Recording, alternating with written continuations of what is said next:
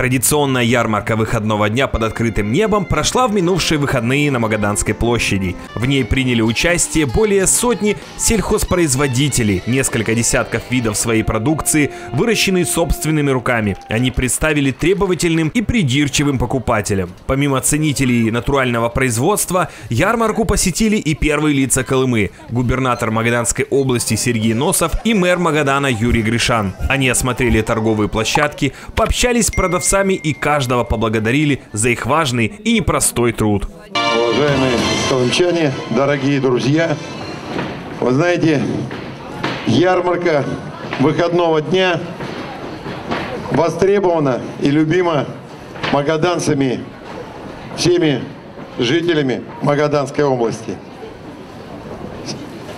Это возможность без посредников, без наценок и реализовать свою продукцию, выращенную в достаточно тяжелых условиях.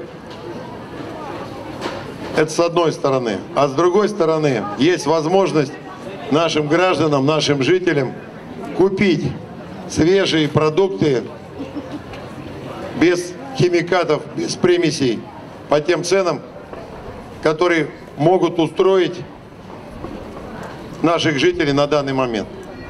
Еще раз, это не магазинные цены.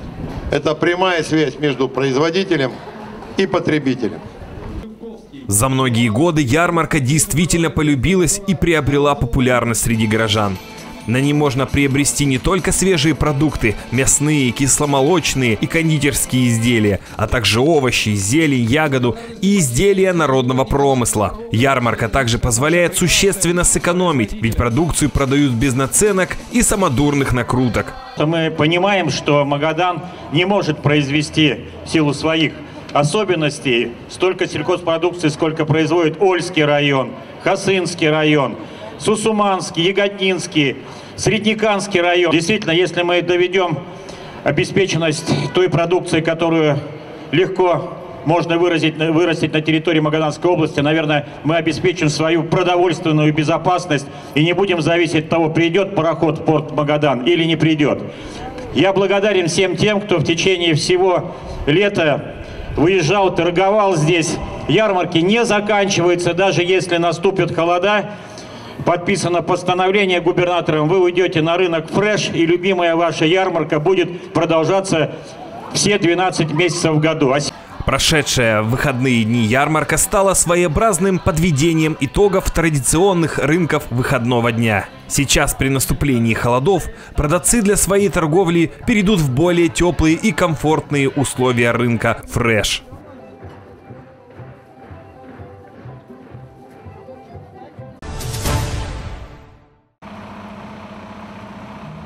Магаданское издательство «Охотник» совместно с российскими поэтами и писателями создали уникальный проект – книгу «Картинный город Магадан».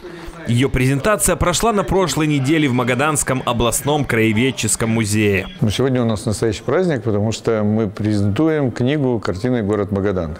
В прошлом году осенью, приблизительно в это же время, у нас была презентация в Русском музее э, с этими же авторами. В этом году, через год, вышла книга, которая называется «Картинный город Магадан». Это проект наш совместный с Краеведческим музеем Магаданским. Э, в него вошли э, те работы, которые хранятся в фондах Магаданского краеведческого музея.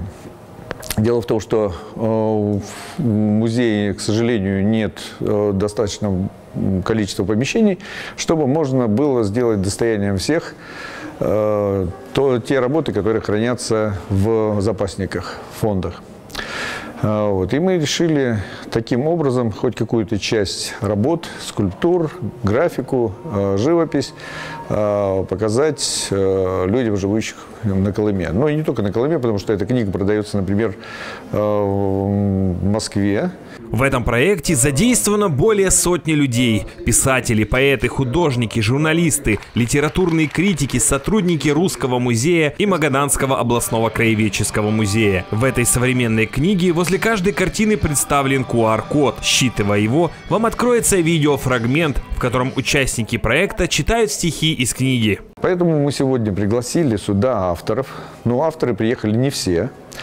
А только четыре автора. Те, кто принимал участие в жюри конкурса «Смеющийся пеликен» потому что у нас сразу несколько мероприятий, в том числе подведение итогов конкурса «Смеющийся пеликен». Ну вот, я думаю, ребятам будет приятно услышать, что Даниил Софин стал победителем в старшей прозе, а Таня Зотова стала победительницей в конкурсе «Смеющийся пеликан» в младшей прозе. Картинный город Магадан о севере, о Колыме, о художниках и их произведениях. В ней представлено 60 картин, и о каждой известными поэтами написано стихотворение. Поэты известны на всю страну. Андрей Усачев, Анна Игнатова, Наталья Карпова, Галина Дядина, Сергей Махотин. Книга вышла месяц назад и уже прибыла в Магадан тиражом 15 тысяч экземпляров.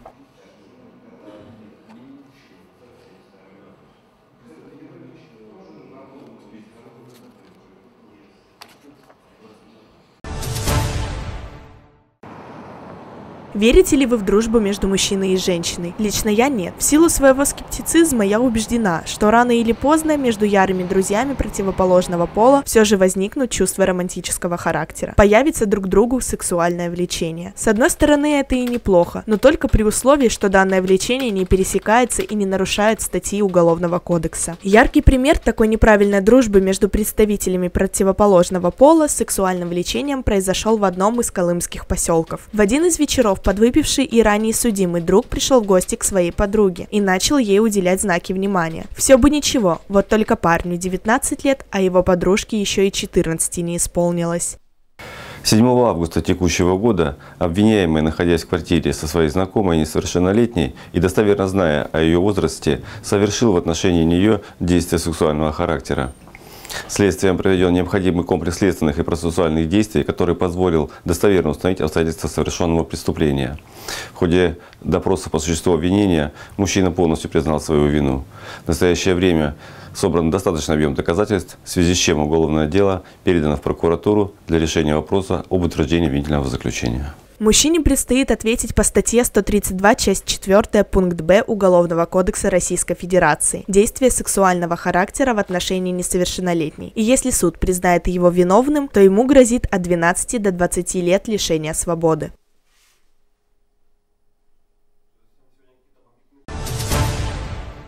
На днях дорожная инспекция УНФ в Магаданской области проверила участки дорог, введенные в эксплуатацию после ремонта в 2020 году и побывала на участках, готовившихся к сдаче в конце октября текущего года. Журналисты вечернего Магадана тоже присоединились к данному мониторингу. В ходе мониторинга основной участок, который вызвал нарекания со стороны проверяющих, находился в паре километров от поселка Стекольный. По словам представителей регионального ОНФ, ремонтные работы на нем завершились еще в прошлом году. Их выполняла подрядная организация, аффилированная с экс-депутатом областной думы.